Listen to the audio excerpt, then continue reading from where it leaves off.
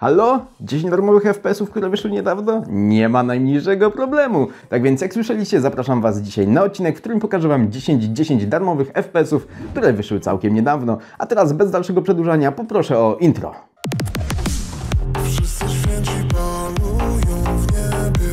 Zaczniemy od Deadly Stillness, czyli od gry, o której sami twórcy mówią, że jest to nudny tytuł o zombie bez żadnej fabuły. I po części to prawda, bo gra nie posiada żadnej historii, ale jest naprawdę fajna i na pewno nie nudna gra akcji nastawiona na strzelanie. Po wybraniu postaci trafiamy do postapokaliptycznej rzeczywistości, gdzie świat jest opanowany przez zombie, a naszym zadaniem jest wyeliminowanie ich wszystkich. Granie nie należy do najprostszych, jeśli nie będziemy wystarczająco celni, szybko może zabraknąć na amunicji, zmuszając nas do walki wręcz, co narazi na utratę zdrowia, a jest to dość poważny problem, ponieważ w grze nie znajdziemy żadnych apteczek. Jest to naprawdę trudna, ale bardzo wciągająca gra. Kolejnym, ale już nie tak trudnym tytułem jest Anger Food, czyli bardzo dynamiczny FPS, który przenosi nas do fikcyjnego miasta o niezachęcającej nazwie Shit City, zamieszkanego przez różne istoty. Akcję obserwujemy z perspektywy pierwszej osoby. Naszym zadaniem jest przemierzanie niesamowitych drapaczych mur czy kanałów i eliminowanie kolejnych zastępów przeciwników. Poza bronią palną będziemy używać również do tego siły własnych mięśni, naparzając się gołymi rękami z wrogami, korzystając przy tym z różnych bojowych umiejętności.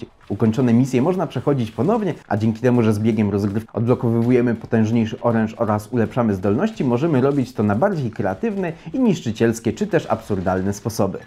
Kolejną bardzo wciągającą grą będzie Fallen Aces, czyli utrzymany w stylistyce noir klimatyczny FPS, który zabiera nas do fikcyjnego Switchblade City, gdzie o porządek dbają tytułowi Aces, co nie podoba się przestępcom, bo eliminują stróży prawa jednego po drugim. Oczywiście jak to bywa, jedyną osobą, która może temu stawić czoła to nasz bohater, a jego metody działania można podsumować mówiąc gość nie pierdzieli się w tańcu. Gra daje nam ogromną swobodę, bo od nas zależy czy rzucimy się na przeciwników niczym King Bruce Lee Karate Miss, czy postanowimy działać po cichu zabijając wrogów z ukrycia. Do szukania różnych rozwiązań mocno zachęca otwarta konstrukcja poziomów, dzięki której do każdego celu prowadzi kilka ścieżek. Bez zbędnego gadania kolejną grą na liście jest Diabotical, czyli pierwszoosobowy arenowy shooter, który wielokrotnie był nazywany duchowym spadkobiercą Quake'a 3. Głównym podobieństwem jest szybkość rozgrywki i dość wymagająca walka. Do tego w grze znajdziemy takie kultowe broni z serii Quake jak rocket launchery, plazmy, shotguny czy lasery. Podobieństwa nie widać jedynie w wyglądzie gry. Quake jest mroczny, brutalny i ponury, za to Diabotical stawia na dużą ilość kolorów i W grze naszym głównym jedynym zadaniem jest walka na dostępnych arenach, gdzie będziemy musieli wykazać się nie lada skillem, by wygrać. Skillem będziemy musieli się też wykazać w grze Hired Ops. Ach, jakie piękne przejście prowadzącego. Hired Ops jest to kolejny bardzo prosty sieciowy shooter, który nie ukrywa, że mocno nawiązuje swoim stylem rozgrywki i dynamiką do wszystkim dobrze znanej serii Call of Duty. Poziomy są małe, kompaktowe, a taktyka nie gra tam większej roli, a głównie liczy się skill gracza. W grze wcielamy się w wojaka i wybieramy jedną z czterech dostępnych klas postaci, gdzie każda klasa ma swój własny system umiejętności, indywidualny arsenał różnych broni z dużą ilością modyfikacji.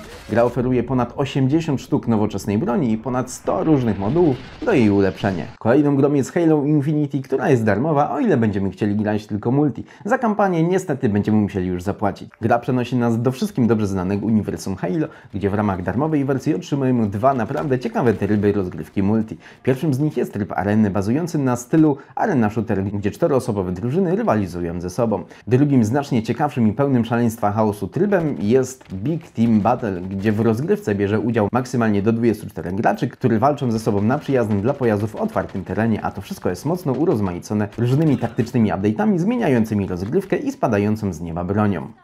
Hellbound to następna gra, która ma wersję płatną i darmową.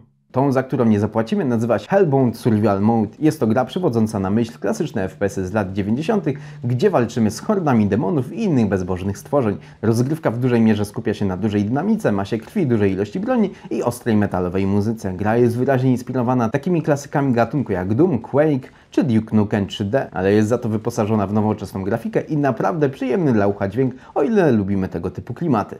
A co powiecie na grę, w której można dosłownie wszystko zniszczyć? Sector Edge to darmowy FPS z niesamowicie wielką destrukcją otoczenia. Zniszczyć można tam dosłownie wszystko dzięki temu, że świat jest skonstruowany z małych kostek. Do destrukcji posłużą nam do tego materiały wybuchowe oraz broń palna. Ale to nie wszystko, ponieważ nie zabrakło możliwości budowania schodów, tak by zaskoczyć przeciwników. W rozgrywce jednocześnie może brać udział maksymalnie do 16 graczy, podzielonych na dwie ośmioosobowe drużyny. To co może interesować niektórych to to, że twórcom zależało, by gra działała płynnie nawet na starszych komputerach, więc wymagania nie są jakieś kosmiczne.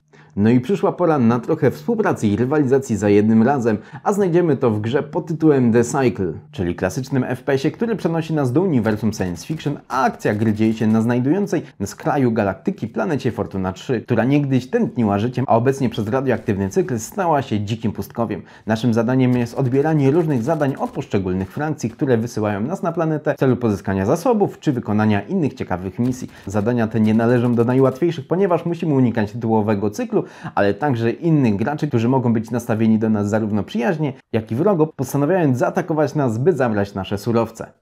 Na sam koniec jedna z moich ulubionych darmowych strzelanek ostatnich lat, jaką jest Splitgate, która czerpie garściami i tego nie ukrywa z kultowych strzelanek takich jak Quake czy Unreal Tournament i wzbogaca je o mechanikę zaczerpniętą z cyklu Portal. Gracz bierze udział w dynamicznych pojedynkach toczonych na arenach stylizowanych m.in. na futurystyczny klub nocny, bazę kosmiczną, starożytną świątynię czy chociażby rozległe posiadłości. Największą atrakcją gry są portale, które możemy utworzyć na wyznaczonych powierzchniach. Służyć one mogą do szybkiego przemieszczania się, flankowania czy ewakuacji z niebezpiecznej lokalizacji.